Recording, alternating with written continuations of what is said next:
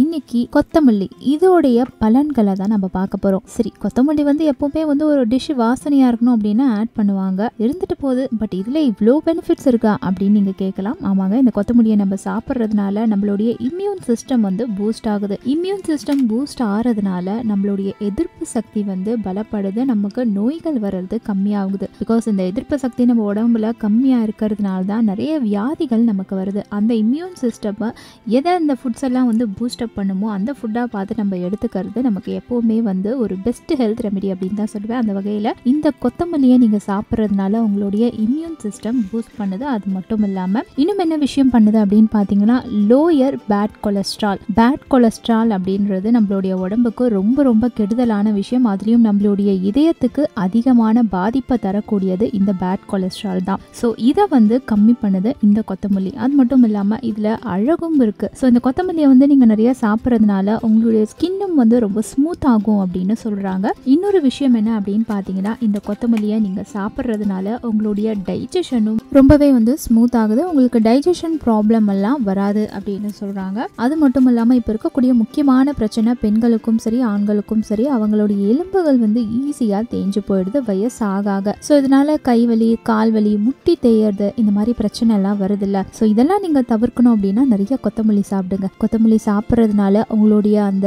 Phone health வந்து improve ஆகுது. ஆச்சரியமாக இருக்குல்ல? கொத்தமல்லியில் இவ்வளோ ஹெல்த் பெனிஃபிட்ஸா ஆமாங்க. கொத்தமல்லியை சாப்பிட்றதுனால இவ்வளோ நல்ல விஷயங்கள் உங்களுக்கு கிடைக்குது. அது மட்டும் இல்லாமல் கொத்தமல்லியை சாப்பிட்றதுனால உங்களுடைய கிட்னி ஃபங்க்ஷனிங்கும் அதிகமாகுதான். ஸோ நம்ம கிட்னி அப்படின்றது இப்போ நிறைய பேருக்கு நிறைய இஷ்யூஸ் வரக்கூடிய ஒரு விஷயமா இருக்குது அந்த கிட்னியில் வந்து ப்ராப்பரான ஹெல்த்தை வந்து நீங்கள் மெயின்டைன் பண்ணணும் அப்படின்னா அந்த கொத்தமல்லியையும் அதிகமாக எடுத்துக்கோங்க. கொத்தமல்லியை வந்து நீங்கள் நார்மலாக எல்லா டிஷ்லேயும் வந்து அந்த டிஷ்ஷோட வாசனையை இன்னும் கூடுதலாக ஆக்கிறதுக்காக ஆட் பண்ணிக்கலாம். அப்படி இல்லைனா கொத்தமல்லியில் தனியாக டிஷ் பண்ணியும் நீங்கள் சாப்பிட்லாம். கொத்தமல்லி சட்னி. இந்த மாதிரி நிறைய விஷயங்கள் இருக்குது நம்மளுடைய இந்தியன் ரெசிபீஸில் இதெல்லாம் இருக்கும். அதெல்லாம் பார்த்து நீங்கள் அதையும் ஃபாலோ பண்ணலாம். ஸோ மறக்காமல் இனிமேல் கொத்தமல்லியையும் நிறைய சாப்பிட ஆரம்பிங்க. இப்போ நான் சொன்ன ஹெல்த் டிப் வந்து உங்களுக்கு ரொம்ப யூஸ்ஃபுல்லாக இருந்திருக்கும்னு நான் நம்புறேன். பிடிச்சிருந்துச்சுன்னா கமெண்ட்டில் மென்ஷன் பண்ணுங்கள் இன்னும் எது ரிலேட்டடான ஹெல்த் டிப்லாம் வேணுன்றதையும் மென்ஷன் பண்ணிங்கன்னா அந்த வீடியோவில் வந்து நான் உங்களை சந்திக்கிறேன்.